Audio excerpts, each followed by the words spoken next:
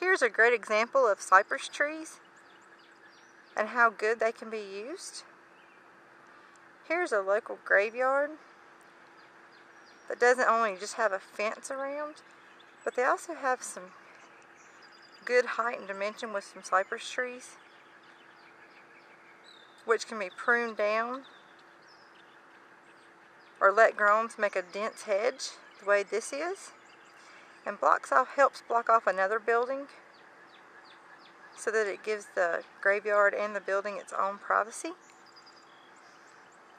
If you're looking for a, a great privacy fence, but you don't have all the money to invest in a fence right now, evergreens and different types of trees and shrubbery, such as the boxwood and the cypress tree, are great to do that. At Tennessee Nursery, they have a wide selection at great prices.